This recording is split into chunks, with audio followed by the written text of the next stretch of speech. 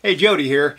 We're talking about TIG welders today, TIG welding machines, and, and the reason is I get this question all the time. What's a good TIG welder for me to buy as a beginner? Or I've got this little basic TIG welder and I want to up my game and my budget is 1,800 or $2,000. What's the best what's the best value? What's the best welder for me? So it's very hard to answer those questions because it really depends on so many things. It depends on what you're going to do with it, what kind of power power you have in your garage or your shop, these kind of things. So I want to kick off a little series here talking about several different TIG welding machines, at least 11 or 12 different ones that I've welded with over the past couple of years.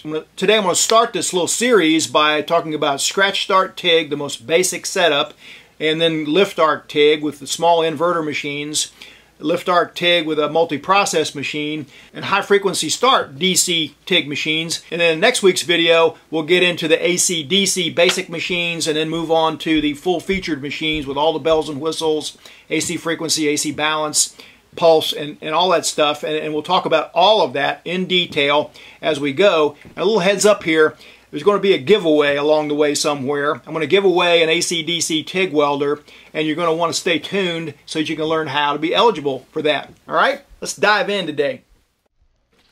One of the most basic TIG welding setups is air-cooled scratch start TIG, and you basically just use almost any DC power source, any DC stick welder, and hook up a TIG torch to it along with a bottle of argon and flow meters, and you're ready to go.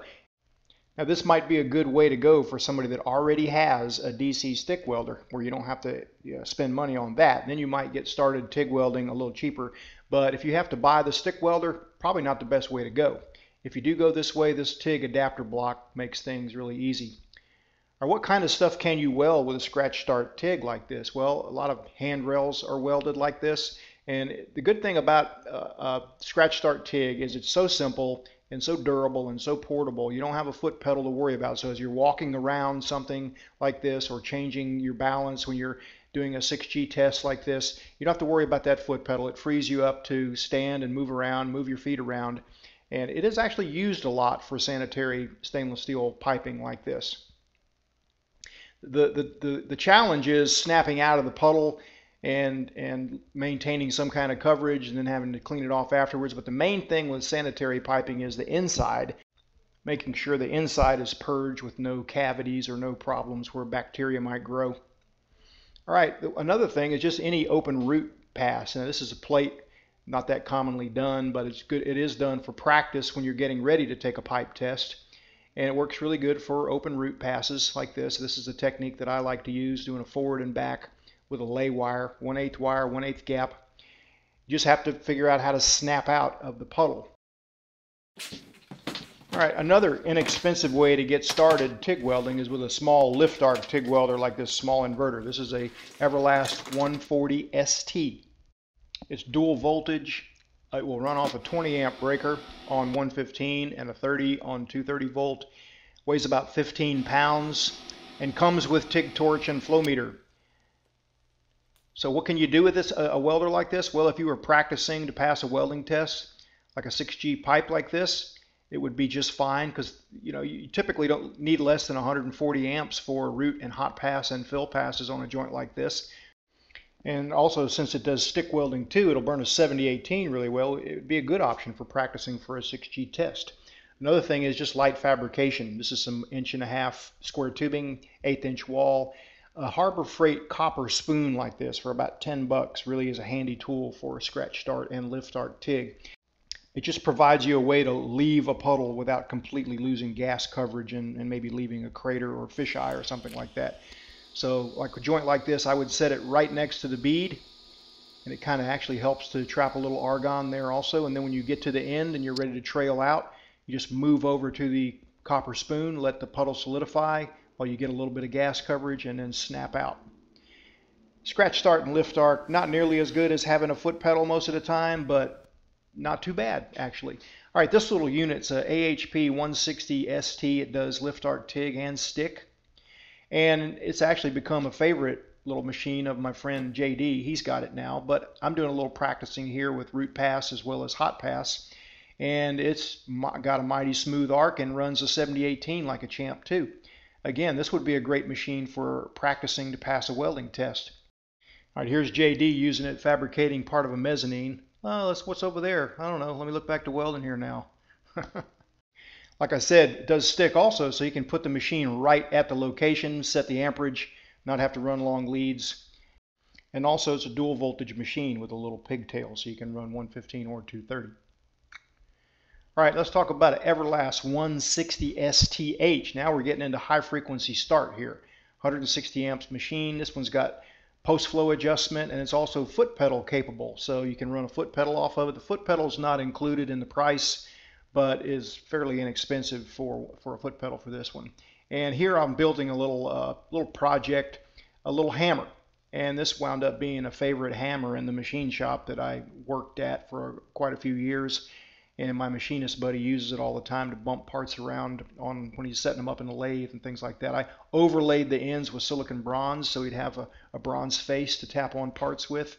And then just for kicks, I got some stick welding practice, made a handle like that just with buildup of 7018 beads. Again, it became a, a favorite little hammer in that shop. Just a quick little project using that machine. Now, high frequency kind of steps you up into a whole nother game. It, it, lets you do a lot more little small parts. And one example here is just a little hole fill. This is a very common operation that you would do for doing work for machine shops. Being able to start without touching just helps your electrodes last longer.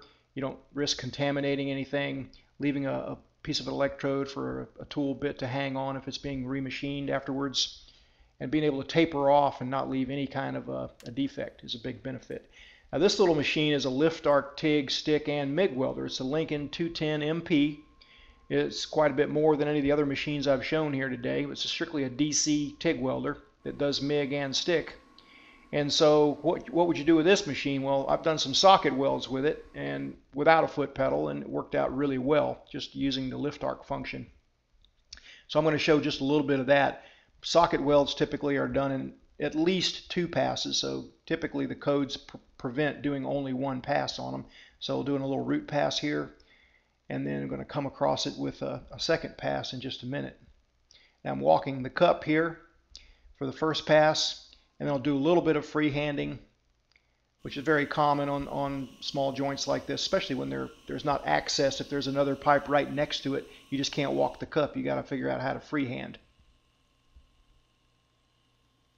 And then snapping out is, the main ticket. But just hitting hitting it with a file when you're done snapping out usually takes care of that. Here's a little shot of walking the cup, pretty much same ramp amperage, same machine, and all that stuff.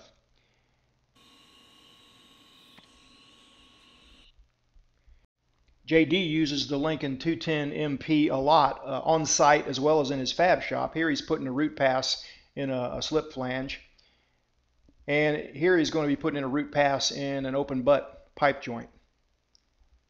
Using about a 5 32nd gap with a 1 8 rod and about 80 to 90 amps just walking over the rod like that tying it in.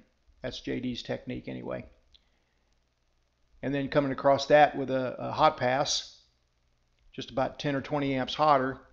And then after that, because this machine does multi-process, he's using dual shield 71M flux core for the fill and cap pass.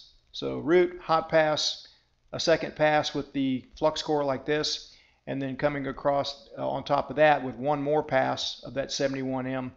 We'll wrap that joint up in probably about an hour. And it looks just about like it was done with the 7018 when it's finished. Remember to hang with me through this little series here. I'm going to try to button it up in two or three videos. We'll see what happens. But stay tuned. We'll see you next time.